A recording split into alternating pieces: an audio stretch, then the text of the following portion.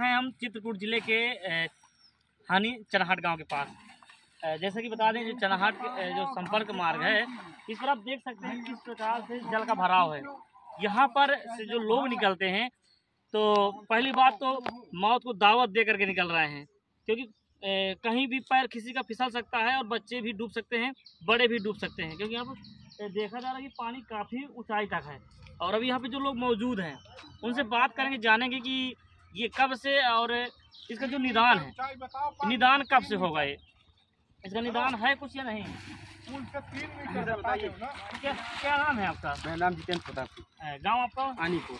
पानीपुर पानीपुर चन्हाट हाँ आनीपुर अच्छा ये मजरा हरदौली अच्छा ये संपर्क मार्ग कब से है इस तरह का ये?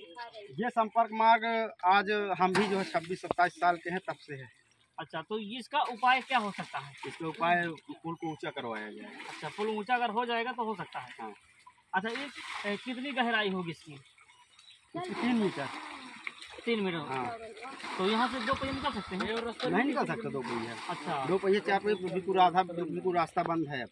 दो पहिए चार जैसे बारिश हो जाती है वैसे बंद हो जाता है। ऊपर बारिश हो जाएगी तो नीचे जो है बाढ़ आ जाएगी। अच्छा तो ये कितने दिनों से कई दिनों से? दो दिन दो दिनों हाँ, पूरा रास्ता बंद है। जैसे लोग इधर उधर जाना चाहें तो कहाँ से जाएँगे? अब या तो फिर अर्जुनपुर होकर के जाए उधर से अचन हटवाए तो उधर से है है फिर राजापुर होकर फिर उधर से जाए। अच्छा यानी ये अवरुद्ध हो जाता है हाँ बिल्कुल उधर कहीं से रास्ते इस पार उस पार जाने के रास्ता बरसात में कोई बरसात में चारे नहीं सारा मानिए हर बरसात में ये समस्या हो रही है। समस्या अच्छा यहाँ की कुछ मांग की गई कुछ लोगों से? नहीं मांग वांग तो फ़िलहाल नहीं की गई थी। अच्छा अभी तक नहीं की हाँ, गई। नहीं की गई थी। कोई सुन ही नहीं रहा तो कोई सुनने मांग वाला कोई सुनने वाला मांग नहीं तो मांग किससे करें? नहीं यहाँ पे जनप्रतिनिधि आते होंगे वोट जब से बाबा की सरकार अखिलेश सरकार में तो ये कुछ बन गई है। हाँ, लेकिन कोई जब से बाबा की सरकार आई है पहले तो इसमें पत्थर पड़े थे। अच्छा। बोल्डर हाँ। उसके बाद जब जो है अखिलेश सरकार में जो है आरसीसी पड़ गई है। अच्छा। जब से बाबा की सरकार आई तो कुछ नहीं हुआ। अच्छा। हम्म। और एक पीछे रास्ता है उसमें आए होंगे देखे होंगे।